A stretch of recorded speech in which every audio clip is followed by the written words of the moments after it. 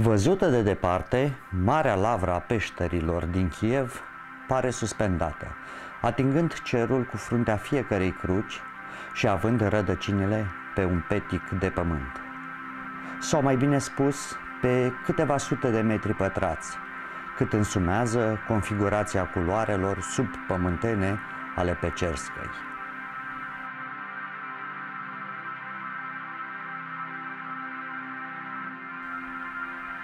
950 de ani de istorie sfântă se pot depăna aici.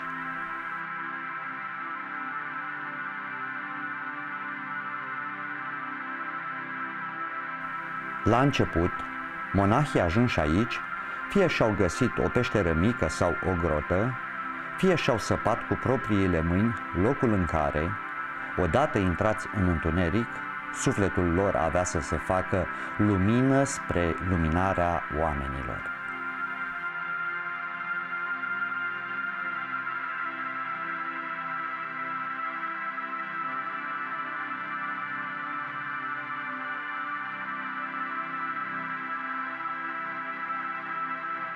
Și încetul cu încetul, aici s-a rânduit un labirint, alcătuit din culoare, grote și caverne, iar cel care pătrunde astăzi în asemenea loc, parcurge aceste căi asemenea unui drum inițiatic.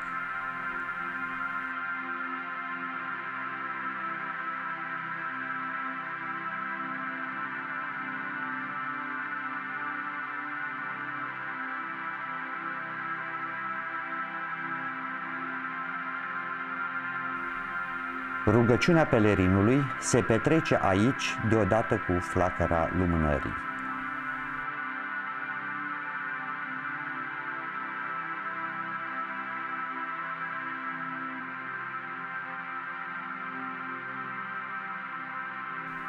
Sfinții așezați în racle călăuzesc drumul și pașii și spun, de dincolo de icoane și relicve, vorbe de duh și cuvinte de învățătură cât să ajungă unui neam întreg, neamul omenesc.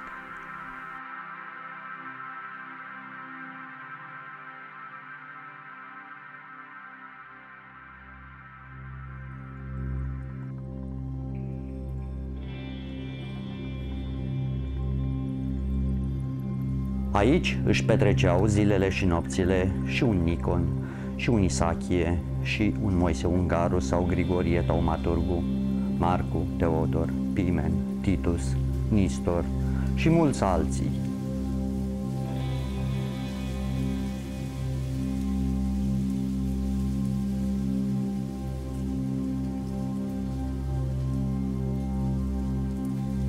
și iarăși pași prin cotloane pe care pe cel puțin încredințat îl sperie, în timp ce pe mulți, pe cei mai mulți, îi întărește.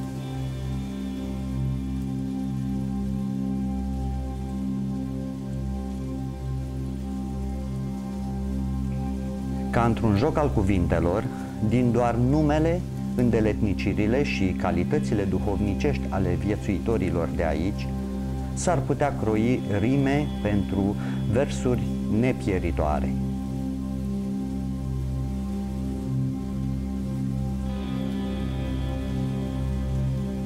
Timpul aici se desparte așa cum lumina din afară este separată de întunericul din lăuntru.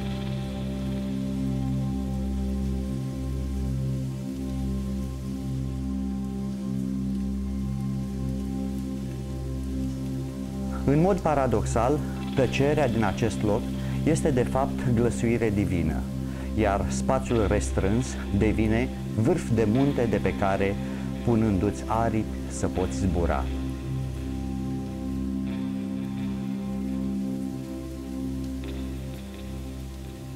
În doar 150 de ani de la înființare, Lavra Pecerska avea să devină o adevărată academie ortodoxă.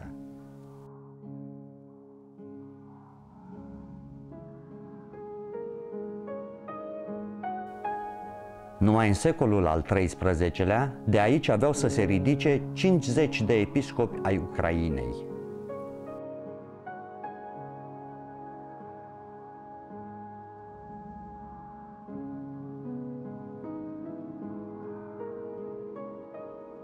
La lavra peșterilor, căci pe cer se tălmăcește peșteră, așadar la Pecerskaya, când nu a fost zidire, a fost îndemn.